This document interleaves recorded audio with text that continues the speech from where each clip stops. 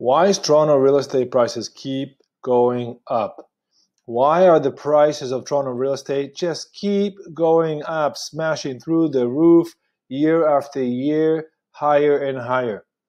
Okay, friends, Yossi Kaplan here, your friendly Toronto real estate agent, mortgage broker at Search Realty and Search Mortgage. And today we're going to look at the question why the prices keep going up. I see this thing a lot. You know, even before I got into the real estate, people always say, "Oh, it's gonna crash. The market's gonna crash. You can't go for it," and it does. It does every time. And you know, you gotta scratch your head and say, "What's going on here?" Obviously, if the reality tell you one thing, you know, you can yell whatever you want against the reality, but it's not gonna make any difference. Well, the answer to why the price of Toronto real estate going up is very, very simple. Well, not really, but we'll make it simple and the answer is, in one word, inflation. What is inflation? Inflation looks something like this. It looks at prices keep going up. Okay? Any way you want to slice it, prices keep going up. Here are the charts of the annual average TREB MLS system for sale price. Numbers don't lie. In 2020 is up. Now, if you want to see from a different perspective, here's dollar value charts since 1913 which is a popular search on Google. And guess what? The dollar keeps sliding down. As a matter of fact, a dollar today is worth about two cents of what it was worth about 100 years ago.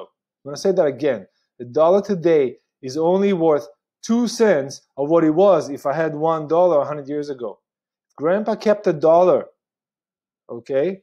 And that dollar, Grandpa could have bought 100 years ago, maybe his entire lunch or whatever grandpa bought 100 years ago. Today, it's like you have two cents. It's good for nothing.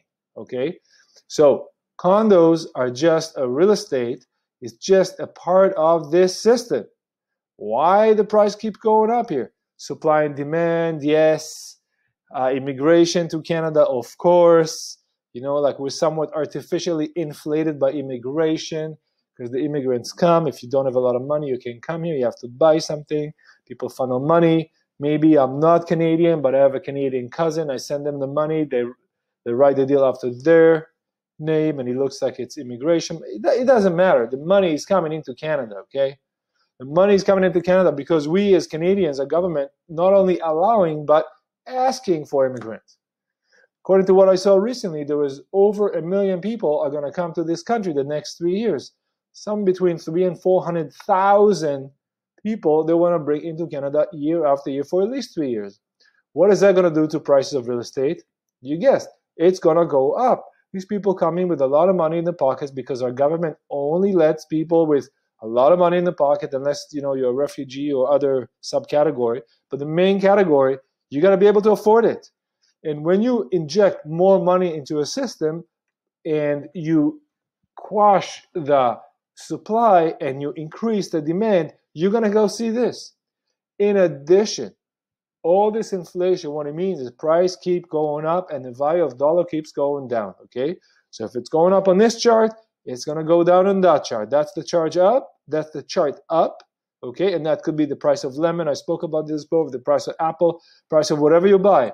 Okay, and dollar goes down. Who wants to bet that the price of TTC is going to go up soon? Okay. Now, you know the price of everything I buy. Like say the price of a cup of coffee went out went from three dollars to three twenty five. That's almost ten percent. You think it's only a quarter? No, it's a lot of money. It's a lot of money. Okay. There's four quarters in a dollar. I paid three dollars one twelfth. It's about eight point something percent increase in the price of coffee.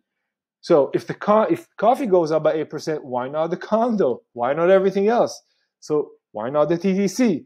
I mean, the hundred bucks you had at January 1st, at the beginning of this year, any year is worth about 85 bucks in real estate dollars at the end of the year.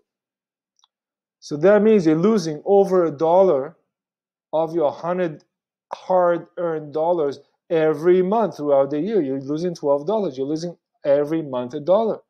Now, if you were to buy a condo for a million dollars, and you lost 1%, that means that that condo is losing $10,000 a month, or it's going to cost more $10,000 a month if you didn't buy it. And that's it. If you don't buy it today, it's more tomorrow because of inflation. That's it. Done.